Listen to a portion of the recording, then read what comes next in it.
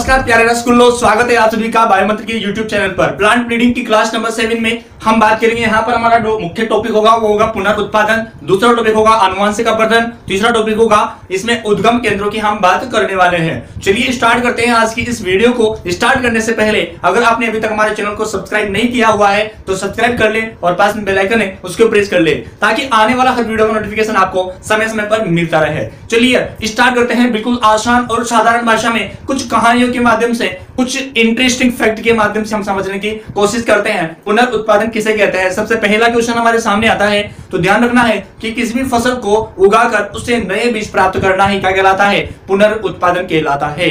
इस बात को हम लिख लेते हैं। क्या दोस्तों, लिख लेते हैं। अरे भाई, लिख लेते हैं। अरे रसगुल्ले फटाफट से लिख ले कि जब किसी फ़सल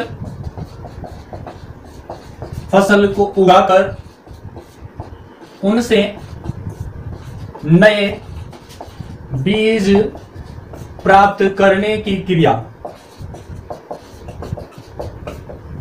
क्रिया को रीजनरेशन कहते हैं। अरे मेरे दोस्त क्या कहते हैं? अरे भाई रीजनरेशन कहते हैं। अब आपको बात, ध्यान क्या रखनी है? अरे भाई, बात का ध्यान रखनी है। आपको ध्यान रखना है कि जो बीजों की जीवन अवधि होती है, वो सीमित होती है। और उसी के कारण हम क्या करते हैं? बीजों का पुनर्उत्पादन करवाते हैं। उससे नए बीज प्राप्त करते हैं। ठीक है? तो यहाँ से ध्यान रख लेना है आपको एक पॉइंट और कि जो बीज होते हैं तो बीजों की बीजों की जीवन अवधि क्या होती है मेरे दोस्त? अरे जीवन अवधि सीमित होती है। सीमित होती है। बात ध्यान रखना है आपको। एक और बात करें हम कि जैसे हम क्या करते हैं बीजों का भंडारण कर लेते हैं। क्या कर लेते हैं? बीजों का भंडारण कर लेते हैं। और जब भंडारण करते हैं जैसे एक साल दो साल तीन साल इस तरीके से जैसे जैसे टाइम निकलता जाता है ना वैसे वैसे उनकी जो अंकुरण क्षमता होती है बीजों की जो अंकुरण क्षमता होती है उनका टाइम पीरियड भी क्या होता जाता है? घटता जाता है। जैसे मान लो आपने चार साल तक भंडारण कर लिया बीजों का ठीक है? रख, हैं पूरे के पूरे जो बीज हैं अब उनको आप बुआई करोगे। तो बुआई के दौरान क्या होगा कि उनमें से कुछ ही बीज उग पाएँगे और कुछ बीज नहीं उगेंगे। इसका मतलब यह है कि उनकी जो अंकुरण क्षमता होती है ना, वो कम हो जाती है। ठीक है तो ध्यान रखना इस बात को लिख लेते हैं हम कि भंडारण भंडारण अवधि के साथ साथ, भंडारण अवधि के साथ साथ बीजों की अंकुरण क्षमता में अंकुरण क्षमता में कमी आती जाती है। आगे बात समझना है। देखो, जैसे जैसे आपका भंडारण की अवधि बढ़ती जाएगी, वैसे वैसे अंकुरण क्षमता में भी क्या आ जाएगी? अरे भाई, कमी आती रहेगी। अरे रसगुल्ले समझ में नहीं आएगा तेरे बात? चलो नेक्स्ट बात करते हैं। ये हो गया पुनर्उत्पादन एक नंबर में आपसे क्वेश्चन पूछ लिया जाएगा, या दो नंबर में आपसे क्वेश्चन पूछ लिया जाए तो आपका आंसर राइट होना चाहिए। भाई साहब, बात करते हैं दूसरे नंबर पे, आनुवांशिक अपर्दन। अरे टॉपिक क्या है मेरे दोस्त? अरे टॉपिक है आनुवांशिक अपर्दन। अरे मेरे लाडले, इधर देख इधर देख जेनेटिक क्या बोलेंगे इसको? अरे जेनेटिक इरोजियन क्या बोलेंगे? जेनेटिक इरोजन इसको हम कह सकते हैं इरोजियन इसको हम कह सकते हैं। देखो आनुवांशिक अपर्दन क्या होता है? आपको समझना है ध्यान से? कि जो कृषि प्रारूप और जंगली जो संबंधी होते हैं, उनकी विविधता में कमी आना। अरे भाई, क्या बोला मैंने? अरे कृषि प्रारूप व जंगली संबंधियों में उपस्थित जो विविधता होती है, उनमें कमी आना ही क्या कहलाता है? अरे आनुवांशिक अपर्दन कहलाता है। क्या बात समझ में आई क्या रे? अरे लाडले बात समझ में आई क्या रे? चलो इसको लिख लो। अरे लिख लो भाई साहब, बिल्कुल साधारण भाषा में आपको समझाने की कोशिश कर रहा हूँ। समझ में आ रहा होगा आपको। देखो, कृषि प्रारूप कृषि प्रारूप व प्रारूप व जंगली संबंधियों में उपस्थित, जंगली संबंधियों में उपस्थित विविधता में कमी। विविधता में कमी होना ही क्या कहलाता है? अरे, विविधता में कमी होना क्या कहलाता है? आनुवांशिक अपर्दन कहलाता है या जेनेटिक इरोजन कहलाता है। आगे बात समझ में? बात करते हैं यहाँ से, देखो, कुछ कारण है इसके। अरे, क्या है मेरे दोस्त? अरे, कुछ कारण है। देखो, कोई भी वर्क होता है या कोई भी जैसे अच्छा काम होता है या बुरा काम होता है तो उसके पीछे एक रीजन होता है, एक कारण होता है भाई साहब। अरे, आपके सक्सेस का भी एक कारण रहेगा, क्योंकि आप दिन रात मेहनत कर रहे हो जो, ठीक है? तो यहाँ पर ध्यान रखना है आपको, कारण क्या है इसके? अरे, भाई साहब रीजन कौन कौन से हैं? तो आनुवांशिक अपर्दन के कारण कौन कौन से हो सकते हैं? सबसे पहला पॉइंट आपको ध्यान रखना है भाई साहब यहाँ पर। देखो, विविधता वाली जो देसी किस्में होते हैं विविधता वाली जो देसी किस्में होती हैं, उनके स्थान पर यदि आप नई किस्मों को उगाओगे, नई उन्नत किस्मों को लाओगे तो जो विविधता वाली किस्में हैं देसी, वो किस्में क्या हो जाएगी? अरे खराब हो जाएगी, खत्म हो जाएगी। और उस स्थान पर आप नई किस्म को ला के डाल दोगे तो वहाँ की जो मिट्टी है ना, वो क्या होने लग जाएगी? बहने लग जाएगी। मिट्टी की जो विविधता है, वो कम होती होती जाएगी। और जो बीज है ना, वो खराब हो जाएँगे आपके। ठीक है? तो जहाँ पर, जैसे मान लो देसी किस्म है तो उस जगह पर देसी किस्म अच्छी है, विविधता वाली है तो उसी को हमें यूज़ में लेना चाहिए, ना कि नई किस्म को। ऐसे स्थान पर ले जाना चाहिए हमें नई किस्म को जहाँ पर विविधता नई किस्म के अकॉर्डिंग हो, या उस किस्म को वहाँ की क्षेत्र के अनुकूल हमने बनाया है। ठीक है, आगे बात में तो पहला कारण क्या है आपका? भाई साहब, पहला कारण क्या है अनुवांशिक अपवर्तन का? देखो, ध्यान से सुनना, विविधता वाली विविधता वाली देसी किस्मों के स्थान पर, विविधता वाली देसी किस्मों के स्थान पर स्थान पर उन्नत किस्म उन्नत किस्म का उगाया जाना। उन्नत किस्म का उगाया जाना। तो ध्यान रखना है आपको, ठीक है, अब देखो, इसके कारण क्या हुआ है? अनुवांशिक अपर्दन के कारण, जैसे मान लो जंगली संबंधी अगर खत्म हो जाते हैं ना, जो जंगली संबंधी है या जंगली प्रारूप है, अगर वो समाप्त हो जाते हैं तो अनुवांशिक अपर्दन होता है। क्या होता है? अनुवांशिक अपर्दन होता है, भाई साहब। ठीक है तो ध्यान रखना है, जंगली प्रारूपों का समाप्त होना दूसरा कारण है हमारा। जंगली प्रारूपों का, जंगली प्रारूपों का समाप्त होना। समाप्त होना अनुवांशिक अनुवांशिक अपर्दन का प्रमुख कारण है। तीसरे नंबर पे हम बात करें यहाँ से, देखो, जंगली क्षेत्रों का नष्ट होना। किसका नष्ट होना? जंगली क्षेत्रों का नष्ट होना। आजकल क्या हो रहा है कि जंगल जो है, उनको काटा जा रहा है, ठीक है? और वहाँ की जो मिट्टी है, उसको खेती के रूप में जो है प्रयोग में लिया जा रहा है। वहाँ के जो क्षेत्र है, उसको खेती के रूप में प्रयोग में लिया जा रहा है। दूसरी चीज़ की उस भाग को जो है चारागाह के रूप में भी यूज़ में ले रहे हैं। इसलिए जो जंगली पादप है, वो क्या हो रहे हैं? समाप्त हो रहे हैं। और उसके कारण क्या हो रहा है? अनुवांशिक अपर्दन बढ़ रहा है। ठीक है तो ध्यान रखना है आपको। नेक्स्ट क्या बोला मैंने आपसे कि जंगली क्षेत्रों का नष्ट होना। ठीक है? जंगली क्षेत्रों का नष्ट होना। ध्यान रहेगी बात देखो, खेती और चारागाह। चारागाह इसका प्रमुख कारण है। खेती और चारागाह प्रमुख कारण है। उसके बाद हम बात करें, चौथे नंबर पे क्या कारण हो सकता है? तो औद्योगिक क्षेत्र और आर्थिक विकास को बढ़ाने के लिए क्या कर रहे हैं? जो जंगली क्षेत्र है, उनमें भवन परियोजनाएँ, कुछ अनेक प्रकार की औद्योगिक क्षेत्रों का विकास किया जा रहा है। जैसे फैक्ट्रियाँ वगैरह जो है, ये लग रही है प्लांट लग रहे हैं तो ये कहाँ पर लगे हुए हैं? ये सब जंगली क्षेत्रों में लगे हुए हैं, क्योंकि स्थान जो है, वहाँ पर ही मिलता है लंबा। और इनके कारण जो है, यहाँ पर क्या हो रहा है? अनुवांशिक अपर्दन बढ़ रहा है। तो ध्यान रखना, चौथा पॉइंट क्या है हमारा? अरे, चौथा पॉइंट क्या है मेरे दोस्तों? अरे, औद्योगिक व आर्थिक विकास के लिए, औद्योगिक व आर्थिक विकास के लिए, विकास के लिए क्या हो रहा है? अरे जो जंगली क्षेत्र है ना, अरे जो जंगली क्षेत्र है ना, उनमें क्या हो रहा है भाई? अरे भवनों का निर्माण हो रहा है, भवनों का निर्माण हो रहा है, साथ के साथ जल परियोजनाएँ बनाई जा रही है, जल परियोजनाएँ चलाई जा रही है, ठीक है, जंगली क्षेत्रों को काट के। उसके बाद में बात करें तो रेल जो है रेल लाइन बिछाई जा रही है, उसके बाद में सड़कों का निर्माण हो रहा है। तो ये सारी की सारी जो क्रियाएँ है ना, ये क्या कर रहे हैं? इन औद्योगिक और आर्थिक विकास के लिए इनको काम में ले रहे हैं जंगली क्षेत्रों को इनके रूप में। ठीक है? तो इससे क्या हो रहा है? देखो, हानि हो रही है किसकी? अनुवांशिक अवर्धन हो रहा है। मिट्टी का जो है रिसाव हो रहा है, जिसमें जो लवण वगैरह है, इसमें जो लवणता है या इसमें जो अम्लीयता है, क्षारियता है, इसकी मात्रा में या जितने पोषक तत्व रहते हैं, मृदा के अंदर, उनकी मात्रा में क्या आ रही है? कमी आ रही है। पाँचवें नंबर में हम पॉइंट की बात करें पाँचवें नंबर पे, नई खरपतवार नई खरपतवार प्रजाति के प्रजाति के आ जाने के कारण। नई नई खरपतवार प्रजाति के आ जाने से भी क्या हो रहा है? अनुवांशिक अपर्धन हो रहा है। और आ जाने के कारण क्या हो रहा है? जंगली संबंधी नष्ट हो रहे हैं।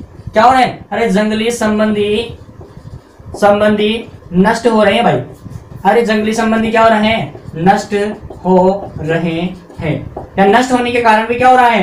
अरे अनुवांशिक अपर्दन हो रहा है। तो ये पाँच कारण आपको ध्यान रखने हैं भाई। क्या ध्यान रखना है? अरे पाँच अपर्दन की बात में एक मुख्य और इंपोर्टेंट टॉपिक हमारे सामने आता है जिसका नाम है उद्गम केंद्र सेंटर्स ऑफ़ ओरिजिन इसकी हम बात करें उद्गम केंद्र मतलब किसी फ़सल की उत्पत्ति जहाँ से हुई है उसी को हम कहते हैं उद्गम केंद्र। ध्यान रखना है इसके बारे में कुछ एक्स्ट्रा चीज़ें हम जान लेते हैं। एक वैज्ञानिक है जिसका नाम है वेविलो। और वेविलो ने क्या किया कि जो जितनी भी प्रजातियाँ है ना जितनी भी फ़सलों की प्रजातियाँ हैं और उनके जंगली संबंधी है। उनका संग्रह करके अध्ययन किया और अध्ययन करने पे पता चला कि जो फ़सलें हैं, जो फ़सलें हैं, उनका उद्गम जो है ना, वो जंगली प्रजातियों के किस, कुछ विशिष्ट क्षेत्रों से हुआ है।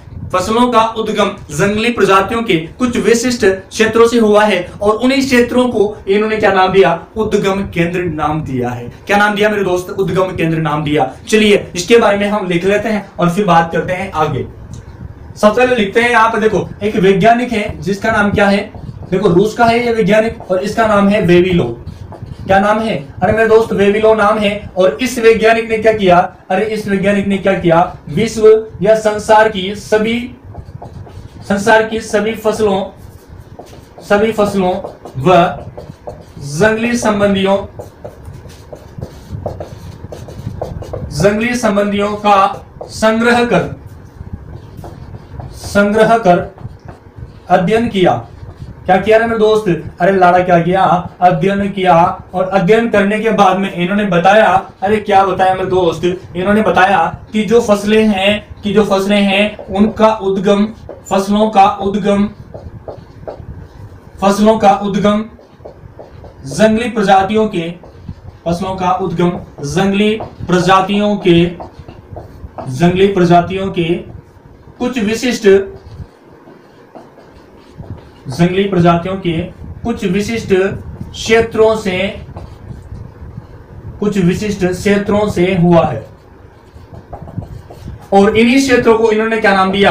अरे भाई, इन्हीं क्षेत्रों को इन्होंने क्या नाम दिया? उद्गम केंद्र। क्या नाम दिया रे? अरे उद्गम केंद्र इन्होंने कहा है। किसने कहा है? रूस का वैज्ञानिक है वेविलो। इसने कहा है। ठीक है, ध्यान सुनेगा। रूस का एक वैज्ञानिक है वेविलो, जिन्होंने बताया क्या बताया? देखो, विश्व के जितने भी फ़सलें हैं और जंगली संबंधी हैं, उन सभी का संग्रह करके और अध्ययन किया और बताया कि फ़सलों का जो उद्गम है, वो जंगली प्रजातियों के कुछ विशिष्ट क्षेत्रों से हुआ है। फ़सलों का जो उद्गम है ना, वो जंगली प्रजातियों के कुछ विशिष्ट क्षेत्रों से हुआ है और उन्हीं क्षेत्रों को इन्होंने क्या नाम दिया? उद्गम केंद्र। ओरिजन ऑफ़ या हम कहते हैं यहाँ पर सेंटर्स ऑफ़ ओरिजन इन्होंने कहा। बात करते हैं कि जो उद्गम केंद्र है, ये कितने प्रकार के होते हैं? तो ध्यान रखना, इसके प्रकार है दो। पहला प्राथमिक उद्गम केंद्र और दूसरा द्वितीय उद्गम केंद्र। बात पे गौर करना दिन समझना यहाँ से, ध्यान से। सबसे पहले हम बात करेंगे इसके प्रकारों की, इसके प्रकारों की। और प्रकार में सबसे नंबर वन हमारे पास में आता है प्राथमिक उद्गम केंद्र। क्या दोस्त? अरे प्राथमिक उद्गम केंद्र।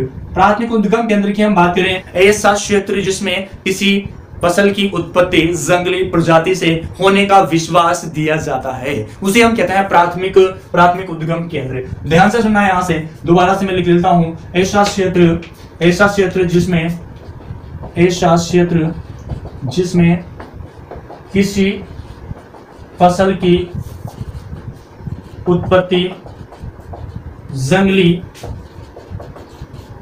जंगली प्रजाति से होने का होने का विश्वास दिया जाता हो। विश्वास दिया जाता हो। तो ध्यान रखना है, ऐसे क्षेत्र को उस फ़सल के लिए, ऐसे क्षेत्र को हम क्या कहते हैं? उस फ़सल के लिए ऐसे क्षेत्र को, ऐसे क्षेत्र को प्राथमिक प्राथमिक उद्गम केंद्र कहते हैं। क्या कहते हैं दोस्त? अरे प्राथमिक उद्गम केंद्र कहते हैं। बात याद रह जाएगी कि लगा अरे बात याद रह जाएगी क्या? दोबारा सुनना। ऐसा क्षेत्र जिसमें किसी फ़सल की उत्पत्ति, किसी फ़सल की उत्पत्ति जंगली प्रजाति से होने का विश्वास किया जाता हो, या किसी फ़सल की उत्पत्ति जंगली प्रजाति से हुई हो, उसे हम कहते हैं प्राथमिक प्राथमिक उद्गम केंद्र। ठीक है, बात समझ में आ रही है? अब देखो, प्राथमिक उद्गम केंद्र कौन कौन से हैं? उन सभी की बात कर लेते हैं। और कहा कौन से प्राथमिक उद्गम केंद्र के अंदर कौन सी फ़सल आती है? या किसका उद्गम जो है, किस स्थान से हुआ है? तो फ़सलों की हम यहाँ पर बात करते हैं। देखो, टेबल बनाना एक, यहाँ पर छोटी सी प्राथमिक उद्गम केंद्र, प्राथमिक उद्गम केंद्र की इधर मैं बात करूँगा। और इस साइड में मैं बात करूँगा फ़सलें। तो कौन सी फ़सल का उद्गम केंद्र कौन सा है? ठीक है? तो सारा का सारा यहाँ से डिटेल से हम पढ़ने वाले हैं। सबसे पहला आता है हमारे पास में चीन। सबसे पहला ध्यान रखना है आपको, दो के बाद चीन। ठीक है? और चीन के अंदर जो है कौन कौन सी फ़सलों का उद्गम केंद्र रहा है? या चीन के अंदर कौन कौन सी फ़सलों का विकास हुआ है? तो ध्यान रखना है, सोयाबीन, मूली और बैंगन। सोयाबीन, मूली और कौन सा है रे भाई? अरे कौन सा है लाडा? अरे बैंग, बैंगन है। दूसरे नंबर पे बात करें हम भारत की। ठीक है? भारत की बात करते हैं सबसे अच्छा और सबसे अच्छा। ध्यान रखना है भारत। सबसे अच्छा भारत, हमारा भारत। ठीक है? तो यहाँ पर जो है कौन कौन सी फ़सलों का उद्गम केंद्र रहा है? तो ध्यान रखना है धान, चना, ठीक है? मूंग, गन्ना, उसके बाद में बात करें हम तो काली मिर्च काली मिर्च ध्यान रखना है आपको। हल्दी हल्दी ध्यान रखना है, आम आम ध्यान रखना है और केला ध्यान रखना है, सारी चीज़ें, ठीक है? अरे, मुँह में पानी नहीं आना चाहिए, अभी पढ़ लो, चुपचाप, ठीक है? तो यहाँ पर देखो धान याद रखना है आपको, उसके बाद में चना याद रखना है, ये कुछ इंपॉर्टेंट है जो कि एग्ज़ाम में आने की दृष्टि से काफ़ी ज़्यादा महत्वपूर्ण बन जाते हैं हमारे पास में। देखो, इसके ऊपर इस तरीके से गोला बना रहा हूँ जो इंपॉर्टेंट है। तीसरे नंबर पे बात करते हैं, एशिया, मध्य एशिया या अफ़गानिस्तान। मध्य एशिया या अफ़गानिस्तान। अफ़गानिस्तान की हम बात करें, मध्य एशिया या अफ़गानिस्तान की हम बात करें तो यहाँ से देखो कौन कौन सी फ़सलों का उद्गम केंद्र रहा है। तो सबसे पहला है गेहूँ, जो कि ध्यान रखना है आपको। गेहूँ है, अलसी है अलसी है, तिल है। उसके बाद में हम बात करें तो बादाम है, ठीक है, बादाम है, प्याज है और लहसुन है। प्याज है और लहसुन है। तो ये सारे के सारे आपको ध्यान रखने हैं फ़सलें, ठीक है। गेहूँ इसके अंदर इंपॉर्टेंट है। बात करें चौथे नंबर पर। फोर्थ नंबर पे हम बात करें यहाँ से तो एशिया माइनर। क्या नाम है? अरे एशिया माइनर। एशिया माइनर ध्यान रखना है, या फिर आपको ध्यान रखना है पर्शिया। क्या नाम है? अरे भाई पर्शिया। क्या ध्यान रखना है? पर्शिया ध्यान रखना है। इसकी हम बात करें तो पत्ता गोभी अनार, अंजीर पत्ता गोभी अनार, अंजीर, और साथ के साथ हम बात करें तो अंगूर। तो ये सारे सारे इसके उद्गम केंद्र रहते हैं। पत्ता को भी यहाँ से ध्यान रखना है आपको। ठीक है पाँचवें नंबर पे हम बात करते हैं। और पाँचवें नंबर का हमारा पॉइंट है कौन सा? अरे, भूमध्य सागरीय भूमध्य भूमध्य सागरीय। यहाँ हम इसको कह सकते हैं एबसीनिया। क्या कह सकते हैं? एबीसीनिया। एबीसीनिया भी आप कह सकते हो। बात करें यहाँ पर कौन कौन सी फ़सलों का उद्गम केंद्र रहा है? ये तो जो, ध्यान रखना है आपको, जो है, मटर है। ठीक है, मटर है। ध्यान रखना है आपको, आगे देखते हैं हम, सेम है। ठीक है? सेम है, बाजरा है बाजरा है कॉफ़ी है कॉफ़ी है, और भिंडी है। भिंडी आपको यहाँ पर ध्यान रखना है भाई। भिंडी ध्यान रखना है भाई। अरे भिंडी ध्यान रखना है इसके अंदर। ठीक है ना? बात करें नेक्स्ट सिक्स नंबर पे। भूमध्य सागरीय एब्सीनिया हो गया। ठीक है सिक्स नंबर पे आ गया, आ जाता है हमारे पास में मध्य अमेरिका। मध्य अमेरिका। और मध्य अमेरिका या मेक्सिको जो है, जिसको हम कह सकते हैं, और मेक्सिको जो है किस किस फ़सलों का उद्गम केंद्र रहा है? तो इनकी हम बात करें तो यहाँ पर ध्यान रखना है आपको, मक्का, अमरूद मक्का, अमरूद, पपीता, तरबूज, खरबूज खरबूज और मिर्च। ठीक है तो ये सारे सारे ध्यान रखने हैं। आपको इसके अंदर मक्का ध्यान रखना है, आपको क्या ध्यान रखना है भाई? मक्का ध्यान रखना है। और सातवें नंबर पे हम बात करें लास्ट दक्षिणी अमेरिका। क्या नाम है? अरे भाई, दक्षिणी अमेरिका। ठीक है ना? इसके अंदर आपको ध्यान रखना है, देखो, दक्षिणी अमेरिका के अंदर सबसे महत्वपूर्ण है आलू। क्या महत्वपूर्ण है? आलू ध्यान रखना है आपको, मूंगफली ध्यान रखनी है। ठीक है? मूंगफली के बाद में आपको ध्यान रखना है टमाटर टमाटर और तंबाकू। टमाटर और तंबाकू ठीक है? तो ये हो गया हमारे पास में प्राथमिक उद्गम केंद्र, के सारी की सारी फ़सलें। ठीक है? कौन कौन से इंपॉर्टेंट है? वो सारे सारे आपको ध्यान रखने हैं, जो कि मैंने उसके अंदर क्या कर रखा है? अरे, गोले में बंद कर रखा है तो इन सभी को आपको ध्यान रखना है। दूसरे नंबर पे हम बात करें, किसकी? द्वितीय उद्गम केंद्र की। तो यहाँ पर हम बात कर लेते हैं द्वितीय उद्गम केंद्र की। किसकी बात करते हैं भाई? अरे द्वितीय उद्गम केंद्र की, क्योंकि इसके अंदर इतना ज़्यादा खास है नहीं। ठीक है? द्वितीय उद्गम केंद्र की। उद्गम केंद्र की अगर हम बात करें यहाँ से तो जिन क्षेत्रों में या ऐसा क्षेत्र ऐसा क्षेत्र जिसमें कृषि